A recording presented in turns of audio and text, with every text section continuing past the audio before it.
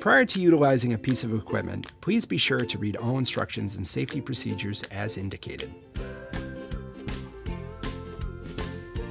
The calf raise is a plate-loaded machine used to build strength and muscle in the calves, the back of the lower leg.